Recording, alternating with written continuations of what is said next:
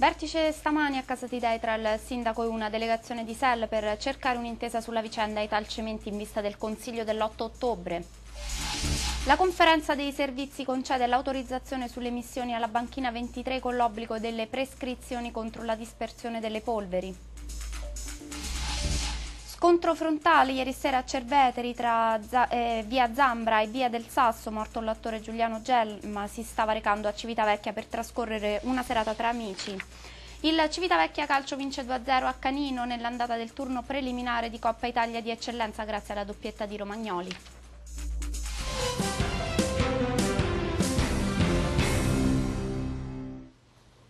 Buonasera e ben trovati dal TG Alto Lazio.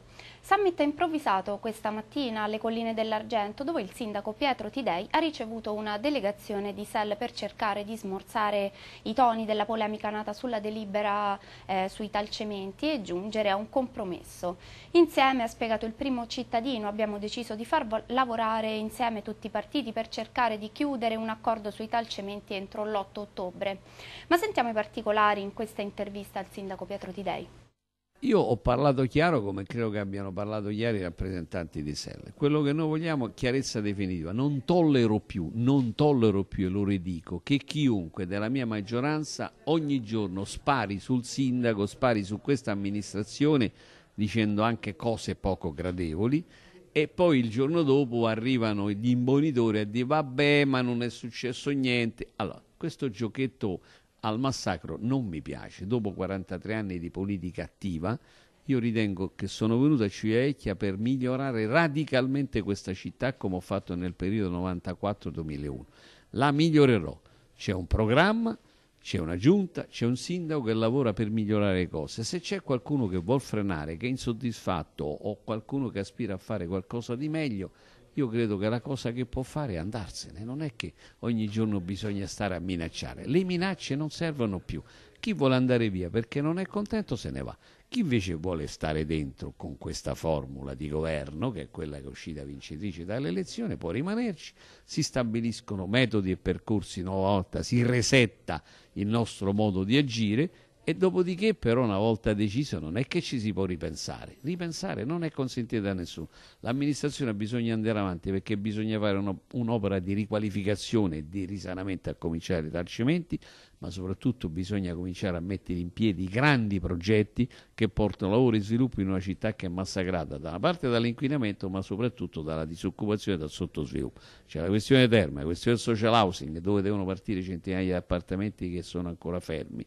c'è la questione di Talcimenti, c'è la questione dell'Ene, c'è la questione anche della variante 31 che sono tutte zona, le zone compromesse che ritireremo fuori, sono tutte questioni che oggi hanno bisogno di una rapida decisione e non tempo per discussioni inutili che non servono a niente ma solo per stare sul giornale il giorno dopo. A me di stare sul giornale non interessa, interessa fare le cose, farle bene e farle rapide, questa è la linea.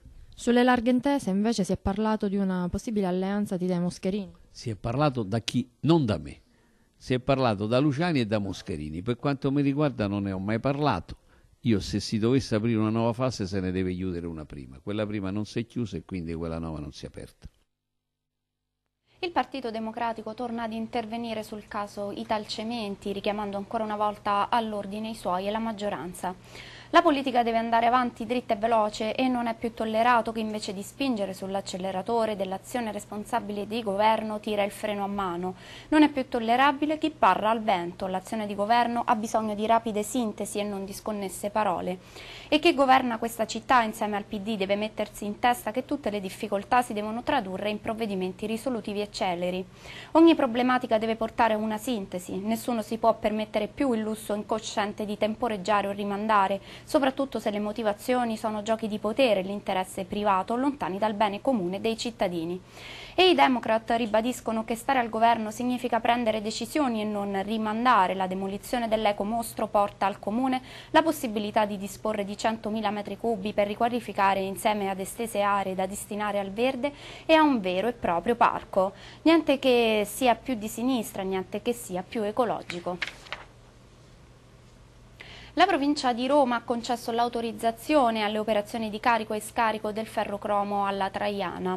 Per ora, eh, per ora però l'ok è solo verbale, domani dovrebbe arrivare quello scritto, dopodiché la società chiederà il dissequestro dell'area, deciso dalla Procura. Sentiamo il servizio. La conferenza dei servizi che si è tenuta oggi alla provincia ha approvato la concessione dell'autorizzazione alla Traiana per il carico, scarico e movimentazione del ferrocromo. Il via libera però per ora è solo verbale, ma già domani potrebbe arrivare quello messo nero su bianco e che dovrebbe risolvere la vicenda che ha portato al sequestro da parte della Procura dell'area dove appunto opera l'impresa. Concessione che però, secondo quanto stabilito dalla conferenza di servizi di Palazzo Valentini, è legata ad alcune prescrizioni ben precise, come per esempio la realizzazione di una sorta di recinzione intorno alla zona dove viene scaricato il ferrocromo e la costante irrigazione dei cumuli. Il tutto per evitare la dispersione delle polveri che, secondo quanto scritto dal GIP nell'ordinanza di sequestro, sono altamente pericolose per la salute. Intanto il procuratore Gianfranco Amendola, titolare dell'indagine, ha concesso alla ditta di poter iniziare l'installazione dei pannelli di protezione, accogliendo la richiesta avanzata questa mattina dai legali della Traiana, gli avvocati Luigi Benni e Andrea Miroli. A controllare che questa installazione venga eseguita a regola d'arte sarà la Guardia Forestale, su delega della stessa magistratura inquirente. Intanto, sul versante relativo alle altre tre ditte indagate per lo scarico di altro materiale polveroso, come deciso oggi insieme al procuratore, il presidente dell'autorità Pasqualino Monti ha intimato per iscritto alle stesse società di non poter eseguire operazioni di carico e scarico fino a che non avranno anch'esse la stessa autorizzazione. Versa in gravi condizioni Yuri Pierotti, il trentenne civitavecchiese rimasto coinvolto questa mattina in un brutto incidente frontale nei pressi di Avezzano. Il giovane dipendente dell'autorità portuale, molto conosciuto in città, viaggiava in direzione dell'Aquila, dell quando per causa in corso di accertamento la sua auto si è scontrata frontalmente con un camion. Dal violento urto Pierotti avrebbe riportato ferite ad una gamba e ad un braccio, ma a preoccupare i medici dell'ospedale dell'Aquila, dove è stato trasportato d'urgenza, è un grosso ematomo ematoma al cranio per il quale è stato messo in coma farmacologico. L'aumento dell'IVA mette in crisi il commercio, Tullio Nunzi richiama i politici alle loro responsabilità parlando di una scelta scellerata che non tiene conto delle conseguenze. L'esponente della Confcommercio rincala la dose, l'aumento dell'IVA dal 21 al 22% comporterà un aggravio di 200 euro per famiglia. Sentiamo il servizio. Il sistema economico civitavecchiese, in particolare del commercio al dettaglio, già provato da un calo dei consumi, viene sottoposto a una pressione che faticherà a reggere. Ne è convinto Tullio Nunzi, che interviene sul recente aumento dell'aliquota IVA dal 21 al 22%. Andate a vedere Corso Centocelle, afferma, e scoprirete come rispetto agli ultimi anni siano spariti negozi storici con un turnover incredibile, con uno sconvolgimento del panorama commerciale e con ulteriori rischi di chiusura. Secondo l'esponente della Confcommercio sarebbe tutta colpa di una politica alla deriva, fatta, dichiara, di ricatti e scelte scellerate e irresponsabili e rincara la dose. L'aumento dell'IVA comporterà un aggravio di 200 euro per famiglia, spiega, penalizzando quelle a basso reddito, inasprirà una imposizione grave per le aziende, anziché incidere nell'abbattimento della spesa pubblica e determinerà una serie di oneri e aggiornamenti per l'adeguamento. A ciò si aggiunga, prosegue Nunzi, che l'aumento di un punto dell'IVA riguarderà fornitori, servizi e energia, che si scaricherà sulle aziende del settore. Una scelta scellerata, conclude. Spero che gli eletti locali faranno del tutto per fare in modo che decisioni di questo tipo possano essere modificate spero che a livello dell'amministrazione locale si tenga conto che le aziende del terziario e dei servizi sono ormai alla canna del gas e si comportino di conseguenza. Nuova interruzione idrica domani nella zona nord della città a causa di lavori sulla condotta di Medio Tirreno in località Fontana Matta a Tarquinia. Il flusso idrico sarà interrotto dalle 8 fino alla fine dei lavori che, salvo imprevisti, dovrebbero ultimarsi nella stessa mattinata. Le utenze cittadine interessate dall'interruzione saranno Borgata Aurelia, Agricasa, Carcere Aurelia, zona ente Maremma Pantano Sant'Agostino, La Scaglia, Enel Area Portuale, zona industriale, Cimitero Vecchio, via Tarquinia Centro Storico, zona bassa della città, Punton dei Rocchi, Santa Lucia, Cimitero Nuovo. Una storia lunga 170 anni, quella del Teatro Comunale Traiano, pronto a festeggiare alla grande questa importante ricorrenza e lo farà anche agevolando i più giovani e proponendo loro abbonamenti a prezzi ridotti. Ne abbiamo parlato con il direttore artistico Pino Quartullo, sentiamo il servizio. Il Teatro Traiano compie 170 anni, lo vediamo appunto da questo giornalino, e come si festeggerà questo grande evento?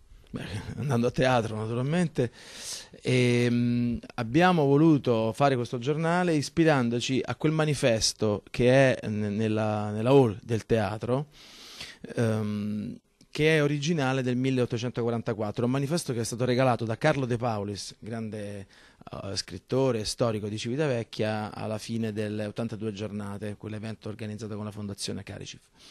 Ecco, ehm, Carlo De Paulis me lo donò e lo abbiamo attaccato dentro il teatro, quindi chiunque verrà a teatro potrà ehm, leggere cosa veniva programmato 170 anni fa. Un cartellone appunto ricco di grandi nomi e un cartellone comunque vario. Certo, quest'anno abbiamo mantenuto mh, essenzialmente la suddivisione degli scorsi anni, ossia la grande prosa con 11 spettacoli per tre turni, a teatro con mamma e papà eh, sempre quattro spettacoli, però soltanto la domenica pomeriggio. E poi Traiano Ridens, quattro spettacoli. Il Traiano Ridens è ehm, gli spettacoli appunto comici eh, che saranno di Ficarra e Picone, Cochi Renato, Rocco Papaleo e Max Tortora. Si potranno acquistare singolarmente e anche gli abbonati eh, quando faranno l'abbonamento potranno già acquistare i biglietti prima della prevendita. Parlando invece della grande stagione, che nomi possiamo trovare? Devo dire quest'anno una stagione straordinaria perché eh, abbiamo dei grandi attori di cinema, giovani, che fanno teatro, che va da Fiorello a Valerio Mastrandrea, Zingaretti, Filippo Timi, ma tantissimi altri, eh, Salemme, Bucci Rosso, Anna Galiena, quindi un grandissimo eh, parco attori di cinema che fanno teatro. E poi ehm, devo dire, ci siamo interrogati spesso sul perché così pochi giovani, ventenni, trentenni vadano a teatro la risposta è quasi sempre che un ragazzo non può permettersi un abbonamento e quindi abbiamo pensato di istituire degli abbonamenti super scontati agli under 25 eh, per la grande stagione, quindi a 11 spettacoli per 33 euro, quindi 3 euro a spettacolo. Credo che mi sembra un ottimo aiuto per eh, aiutare appunto chi vuole avvicinarsi a teatro, non l'ha mai fatto e, e poi con quell'abbonamento si hanno notevoli agevolazioni perché eh, abbonandosi alla grande stagione si hanno degli sconti e priorità di scelta di posto sugli altri abbonamenti e anche uno sconto alla multisala Royal, eh, delle visite guidate archeologiche gratuite, quindi insomma, conviene abbonarsi che è meglio. Ecco, la campagna abbonamenti è già iniziata? Sì, si stanno, stanno, riconfermando i vecchi abbonati e dal 23 ottobre ci si può abbonare e fare nuovi abbonamenti. La comunità educante e gli educatori nella comunità. Questo è il titolo del convegno che avrà luogo il 3 e il 4 ottobre al Teatro dei Salesiani, Sala Buonarroti a Civitavecchia. Ad aprire i lavori ci penserà il Vescovo Mariano Crociata, segretario della Conferenza Episcopale Italiana. Il presule affronterà il tema scelto dalla diocesi alla luce del documento Educare alla vita buona del Vangelo. Il 4 ottobre il convegno si concluderà con la celebrazione eucaristica in onore di San Francesco d'Assisi nella cattedrale di Civitavecchia dedicata al santo che il vescovo Luigi Marrucci presiderà con inizio alle 18.30. Mandrò un piccolo spazio pubblicitario tra poco con l'informazione del comprensorio.